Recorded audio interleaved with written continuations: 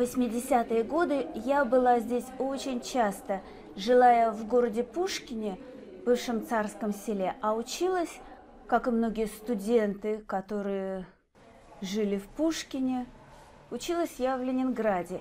И, конечно, каждый день, ну почти каждый день, ездила из Пушкина в Ленинград на электричке, на пригородном электропоезде. Это сейчас здесь мало людей и почти нет поездов, видите? А в то время здесь всегда было много народу. На этих сейчас пустующих, то есть пустых путях всегда стояли поезда дальнего следования. Поезда дальнего следования – это не пригородные поезда, а поезда, которые идут далеко. Так вот, на этих путях всегда стояли поезда дальнего следования, а там, где сейчас мы видим только одну электричку, электричек всегда было несколько. Правда, вот сейчас здесь тоже не одна, а целых две электрички. Одна из них даже типа комфорт. В годы моей молодости таких электричек еще не было. Самая красивая часть вокзала, которую я вам сегодня покажу, не была еще отреставрирована и была закрыта. А я поднималась вот по этой лестнице. По этой лестнице сто с лишним лет назад поднимались пассажиры третьего класса. Если вы думаете, что вокзал – это что-то скучное и только утилитарное для того, чтобы сесть на поезд, куда-то поехать, вы ошибаетесь. Сюда, на этот вокзал, водят экскурсии, сюда приходят фотографироваться, здесь снимают фильмы. Это самый старый вокзал Петербурге, самый старый вокзал в России, самый первый вокзал и, наверное, самый красивый. Правда, когда было построено, когда здесь было построено первое здание вокзала, выглядело оно совсем не так, как сейчас.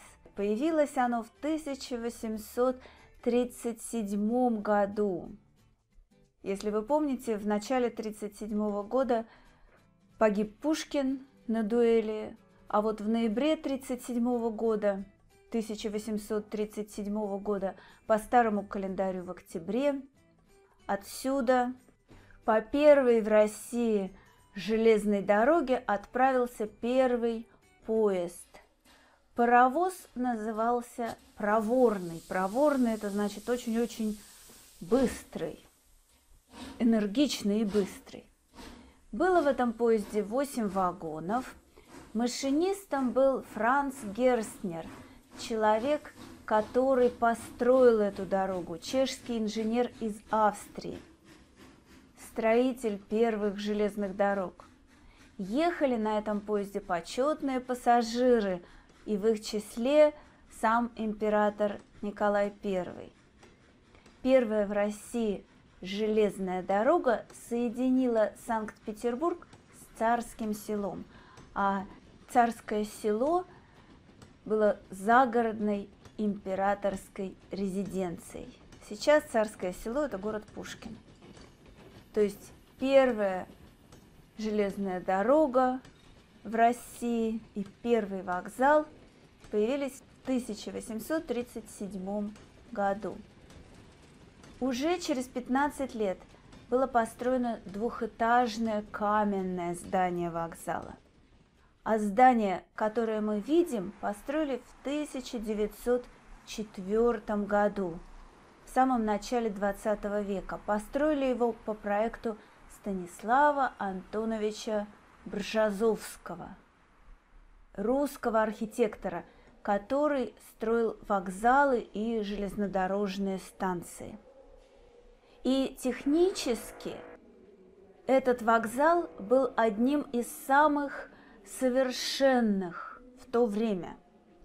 Это было одно из первых полностью электрифицированных зданий в Петербурге. Здесь везде использовалось электричество. Перроны здесь находятся на втором этаже, и были сделаны лифты для багажа и пассажиров. Это сейчас лифт для нас что-то обычное, вещь обычная, а в то время лифт был технической новинкой. Вокзал был очень богато украшен. Он был очень красивый. Здесь были витражи, фонари, картины и так далее. Для пассажиров с билетами разных классов были отдельные входы, а для царской семьи отдельное здание, отдельный павильон. Сейчас мы входим в здание вот через эти двери. Здесь стоят металлоискатели, а дальше большое помещение с длинными скамейками. В далекие времена здесь было багажное отделение, а в советское время, в советское время здесь были камеры хранения. Что такое камера хранения? Камера хранения – это место, где можно оставить на время свой багаж, если вам тяжело носить его с собой или если вам просто лень носить его с собой. Теперь камера хранения наверху. Но ну, представим, давайте представим, что сейчас начало 20 века, и у вас билет в вагон первого класса. Вот здесь вход для пассажиров первого класса.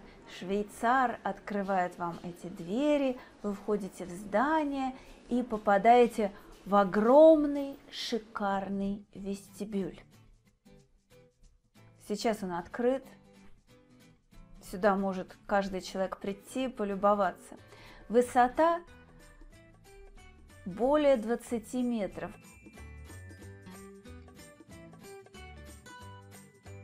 Кстати, вот этой плитке более 100 лет.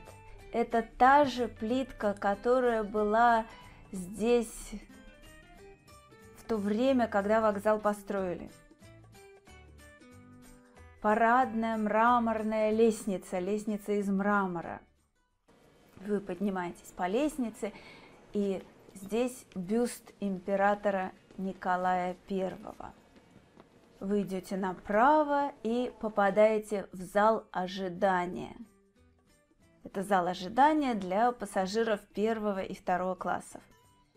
Зал ожидания – это место, где пассажиры могут провести время, когда ждут прибытие или отправление поезда. О поездах мы говорим, что они прибывают, когда они приходят на вокзал, и отправляются. То есть прибытие поезда, отправление поезда. Этот зал ожидания украшен картинами. Тут везде картины. А на картинах история Царскосельской железной дороги. Сейчас это Сюда можно прийти как в музей. И гиды сюда приводят туристов.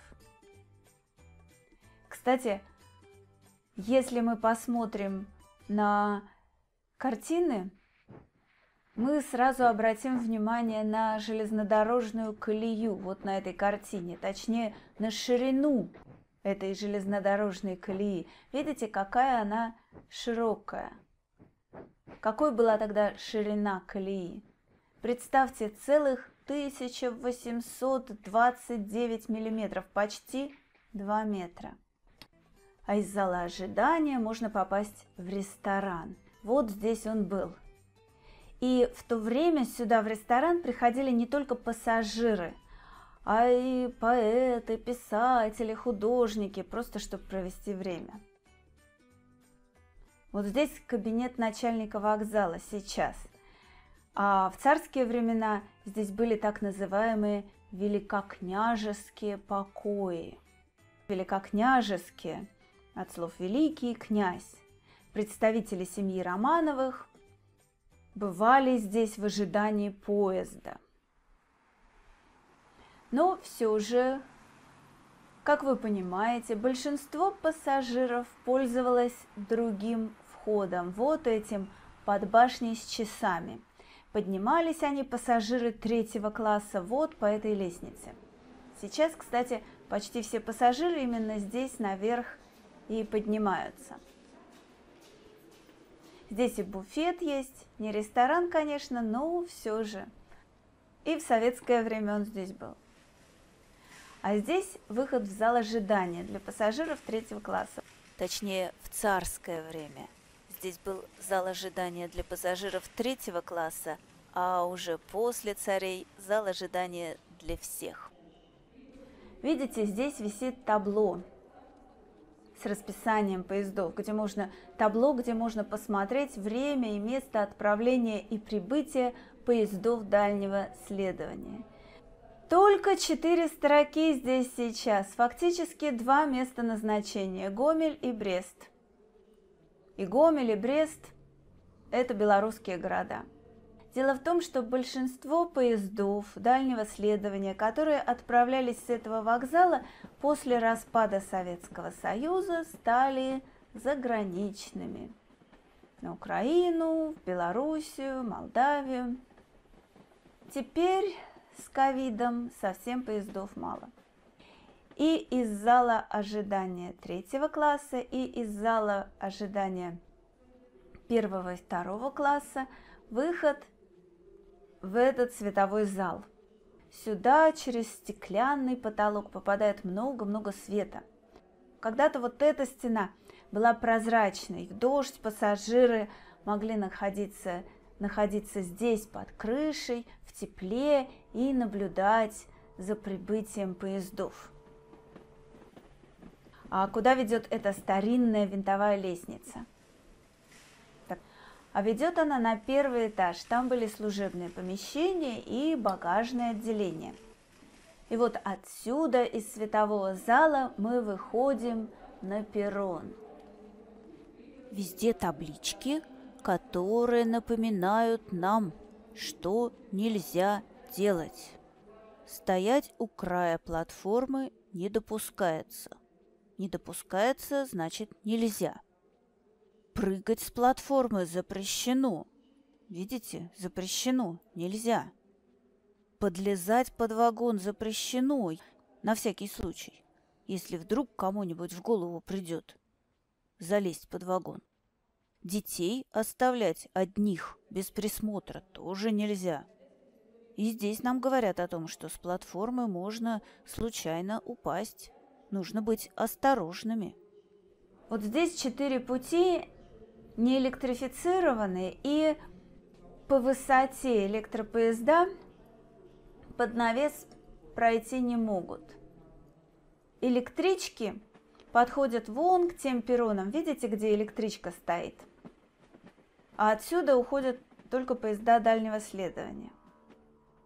Вот бегут пассажиры на электричку, на пригородный поезд. Бегут, торопятся. Здесь сейчас пусто, ну, видите, люди приходят специально фотографироваться, да? Вокзал это до 1918 года назывался Царскосельским. С 1918 года он стал называться Детскосельским, когда Царское село переименовали в Детское село. А с 1935 года он называется, как и сейчас, Витебским. Витебский вокзал, самый первый вокзал в России, наверное, самый красивый вокзал –